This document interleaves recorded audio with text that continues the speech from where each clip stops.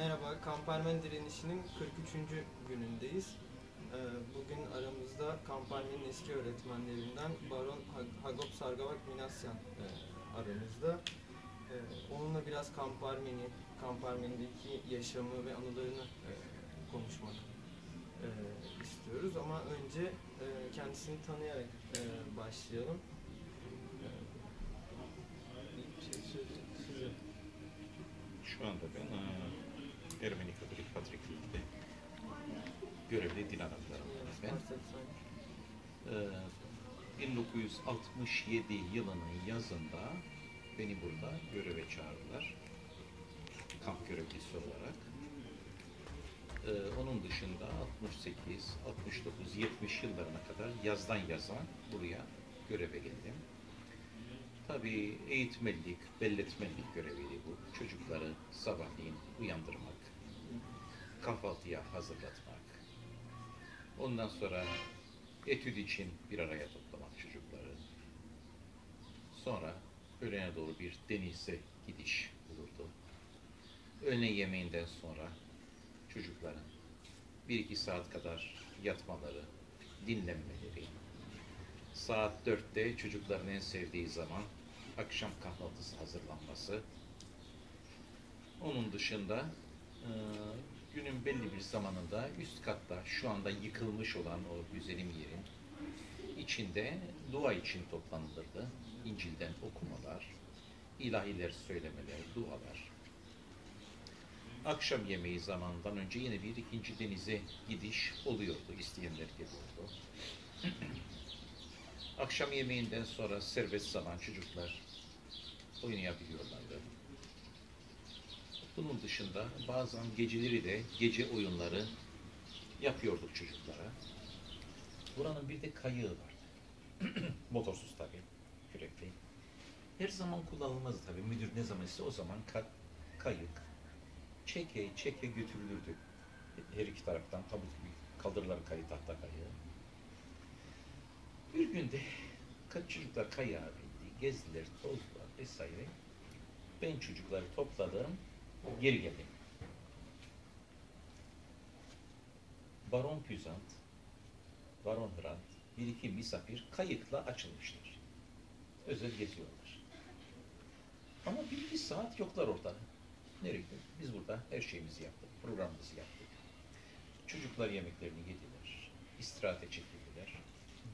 Ses, ben de şurada oturmuşum kitap okuyorum. bir baktım uzaktan Baron Güzelyan. Geliyor ama tek başına geliyor. Başka kimse yok. Bir taraftan yürüyor, bir taraftan burnundan kıs kıs kıs kıs kıs gülüyor. Gülüyor, gülüyor, geldi buraya yaklaştı. Hayrola ne oldu dedi filan. Sorma dedi, sorma dedi, neler olmadı dedi, neler oldu, ne olmuş? Efendim eşek adasına gitmişler. O zaman eşek adası bomboş. Hiç kimse yok. Şu anda galiba şey olarak kullanılıyor değil mi yani? Gemi yapım yeri şu bu filan. Çıkmışlar eşek adasına. Eşek adasının etrafta bakmışlar, etmişler. Tam kayağa binecekti. Herkes binmiş, binmiş, binmiş kayağa. İhtiyar Baron Püzant da ayakları burada, eliyle kayağı tutmuş ki kayağa binecek. Öyle bir rüzgar varmış ki bizim sımpat idare edememiş küreyi. Kayık açılmış. Aç, Baron Püzant, Püzant da böyle açılmış, atılmış. Baron Püzant ihtiyar adam güm suların içine düşürülmüş. Ve bir ara ortadan kaybolmuş tabii. Ama ama biliyor aman filan falan. Bir bakmış dikilmiş ama başındaki şapka başında çıkmamış. Ve başındaki şapkanın da özelliği hasır bir şapkaydı. O, o kadar çok kullanılmış bir şapka ki yani e, bez gibi olmuş artık. Baron Püzant onu böyle dörde beşe katladı cebine koydu. Bu güneşli yere geldiği zaman bu tarafa evinde onu açardı kafasına geçirdi çikolata gibi. Birim Baron Güzelyan da ma matrak olsun diye uyuduğu zaman sen o şapkayı al, üstüne bir haç işareti çiz, altına da yedeves yegek yaz, arkamdan gelin. Ve Baron Hüsam, Hüsam bunun haberi yok. O rastgele şapkaya geçiyor. Tabii o şapkayla düşüyor ve o şapkayla Dışarı çıkıyor sudan. Aman filan. E, üst baş tabi pantolon, cüzdan ile sular içinde. Zor zor bunu kıyıya çıkarıyorlar. Üst başını çıkarıyorlar. Ee, Bizim sımpat altta don var nasıl olsa diyor. Şortunu çıkar ona veriyor ki geçici olarak o donla dolaşıyor. Bekliyorlar ki üst baş kurusun da geri gelsinler. Ama geri geliyorlar. Tabi Baron Güzan, Baron Güzelyan'la konuşmuyor artık ondan sonra. Ve buraya da gelmez oluyor. Çünkü onun fikrinde o vardı ki Bay Güzelyan onun dört katlı binasına göz koymuştu alacaktır diye. O da hep konuşuluyordu halk arasında. Sonra ne oldu bilemiyorum. Ama biz bunu çocuklara anlattık tabii. Çocuklar kahkahayı bastırdılar. Artık o Baron Bizantin'in üstüne haçlı, yediveski yazılı şapkayı çocuklar o ona verirdi, o ona başlarına takarlardı onun haberi olmadan resim çekilirlerdi. Bu da oldu. Buna benzer ilginç, çocukları güldürebilecek olaylar da az değildi. Daha var tabii aklıma gelir bir taraftan. Ama en komik olay şuydu. Yıl 1968. Bizim rahmetli Hrant Dink bir iş için sabah buradan gidecek şehre, akşam dönecek. Soruyor, bir şey isteyen varsa getireyim diye. Hiç kimse bir şey istemedi. Ya Hrant Bey dedim, geçen gün buraya geliyordum, alacaktım unuttum dedim, bari burada okurum dedim. O yıl yeni çık, çıkmıştı Aziz Nesin'in eee, söyleyeyim kitabın ismini. Memleketin birinde ve Hoptirinam tek cilt olarak çıkmıştı. O kitapları ben okurdum, çok severdim. Verdiğim parayı yaran, geldiğin zaman kitapçıma bak dedim. Kitabı bak yazdım unutmayasın. Memleketin birinde Hoptirinam. Bunu bana getir akşam. Hadi görüşürüz, hadi güle güle gitti. Akşam Hrant Dink bu taraftan geliyor. Ama o da burun dibine pıs pıs gülerek geliyor. Geldi yanıma ne yaptın ne ettin. Güzel geçti mi günün dedi. Ne dedi. Ama hem konuşuyorum da tıs gidiyor ve zor tutuyor kendini. Oldu? Ah nasıl. Dedim kitabımı aldım. Aldım ama dedi e ne oldu ki dedim. Can sonduruyorsun bir kere kitabı dedim. Kitabı verdi. Olay ne? Gitmiş bir gazeteciye. Gazete kitapçıdan birisine.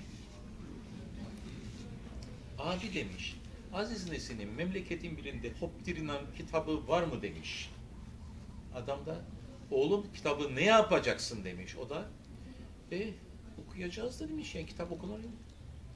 Ha öyle mi demiş. Bir dakika olacaktı galiba demiş ama neşesiz bir şekilde adam. Hani satıcısın kitap satıyorsun değil mi?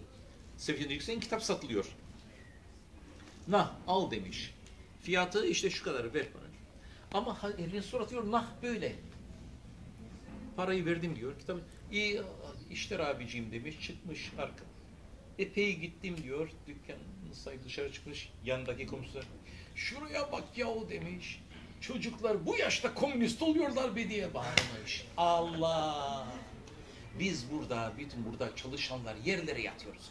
Çocuklar bizim için birer kardeşti, birer kuzendi, yabancımız değillerdi yani. E, Aile gibi hissedirdim ben bu yaşlarda. teşkil eden birçok mekanın yıkılmasının önüne geçmek Evet. e, ve bunun için mücadele etmek gerekiyor. Kampermen direnişinin e, önemli e, aslında yani var olması, yani bu direnişin esaslarından bir tanesi de aslında Ermeni halkının toplumsal bedeğine e, sahip çıkmak.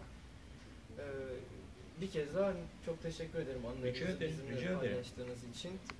E, Tekrar sevinçliyim. Size güç e, vermesi Tanrı'dan diliyorum. Yani gerçekten büyük bir görev üstünüz. Kendi öz görevinizmiş gibi bir toplumsal bir e, değerin içinde ona sahip çıkıyorsunuz ki eski haline dönmesini sağlayabilirsiniz diye. Sağ olun, var olun. Başka bir şey demiyorum. Ve yalnız bu şu anda burada bulunmayan diğer arkadaşlara tabii. Evet. Kim olursa olsun. Çok teşekkür ederiz. Sağ olasın. En sağ büyük olasın. derdimiz Kampermen'in yeniden bir çocuk kampı olması. Keşke, Ve, keşke. e, yalnızca aslında Ermenilerin değil, bu ülkede yaşayan bütün Gayet canım, yurttaşların, gayet tabii bütün çocukların birbirini tanıyabileceği Gayet tabii, ve gayet e, toplumsal barışa hizmet eden, halkların kardeşliğini ve eşitliğini esas alan bir çocuk kampı inşa etmek en temel kaygımız. E, ve bu sebeple Kampermen'in Ermeni halkına iade edilmesini e, ve bunun ivedilikle ve tüm mülkiyet haklarıyla birlikte iade edilmesini istiyoruz. Bugün direnişin 43. günü. E, Türkiye'li halklara, tüm halklardan e, insanlara en temel çağrımız gelin Kampermen direnişini büyütelim. Evet.